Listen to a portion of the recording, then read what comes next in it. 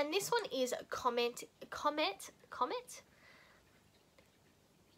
Comet, not Comet, not Comet, or Comment, Comet, Comment, Comment.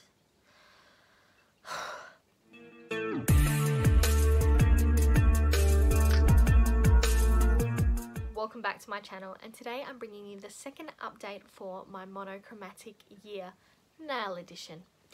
Just a quick reminder, this is a Pantastic Ladies collab and it was created by Cali Fab, who I'll have linked down below as well as everyone else who has joined in. So we're a month behind in giving you an update. But if you remember, back in February, the colour of the month was glitter slash shimmer. And I have quite a few glitter and shimmer polishes.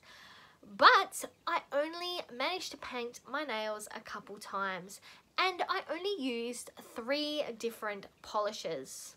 So I will include pictures of what I did to my nails, but we will just go through the three polishes that I used. First up, we have this Beauty Works polish in 10.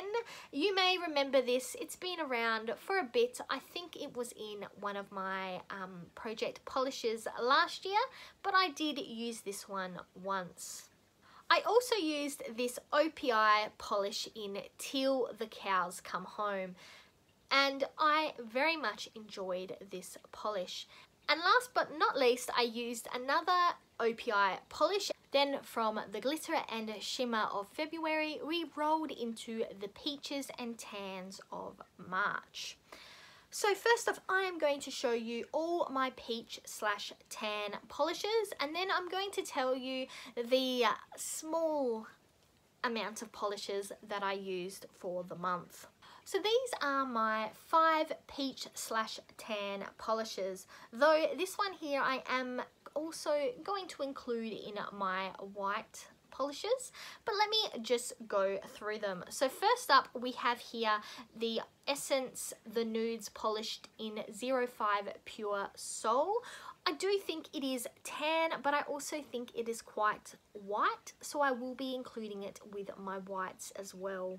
Then we have these two CR polishes which are peachy tan. And then we have the two polishes that I did use for the month of March, which I'll put a picture up here somewhere. We have the NYC Colour Polish in Petticoat and also the Nutrimetics Sparkle Sands Polish in Pink Sparkle Rose.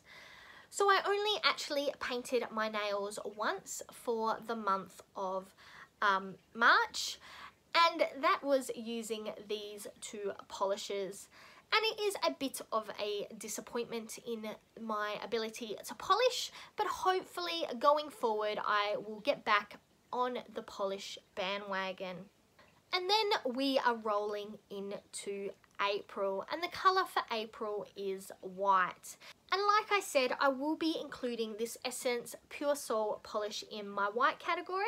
And I'm also decided I'm going to include this Sinful Colours polish in You Just Wait, which is slightly duochrome, slightly pink, slightly purple, but I do think it has quite a white base to it. So these two polishes could probably go under different colours, but I am also including them under white. On top of that, I'm also including my Sally Hansen Hard as Nails Extreme Wear Polish in White On, which is a pure white polish.